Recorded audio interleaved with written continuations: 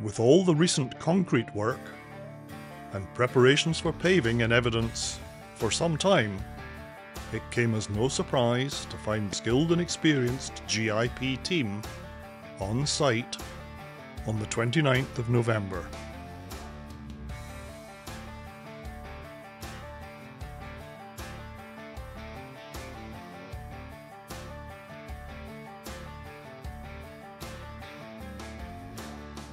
Conditions, like they have been for many recent endeavours, were near perfect.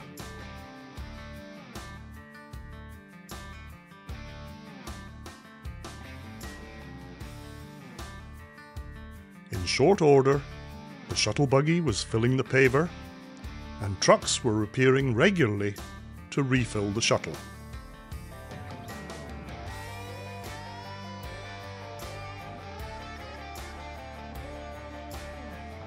Whilst the work progressed, there was an opportunity to look at the Dolphin and at the North Finger Dock, where preparations are in hand for more concrete to arrive.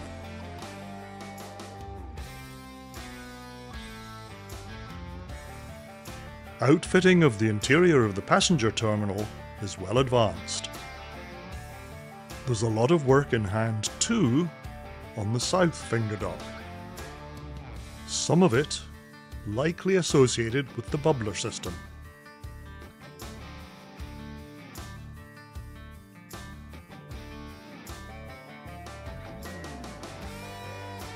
A run up the west side past the utility building shows just how much work is planned for paving today.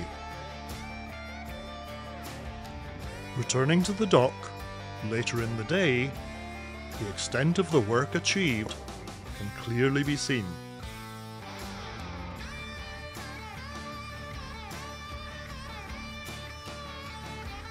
And it's continuing relentlessly.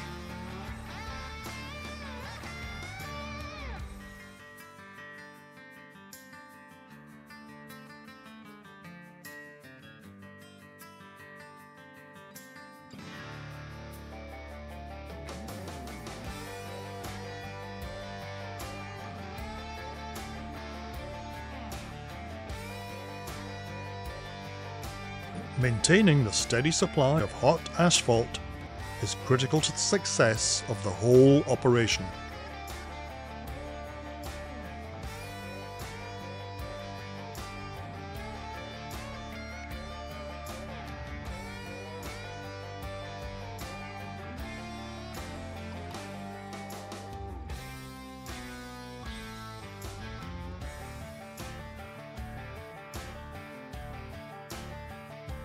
Paving work, like so many other aspects of construction, is very much a team game. And the whole team must have been very satisfied with the results achieved this week.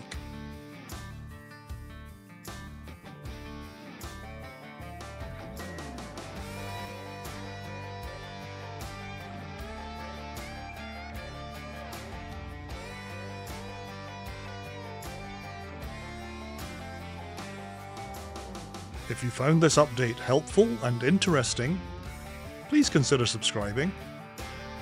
And thanks for watching.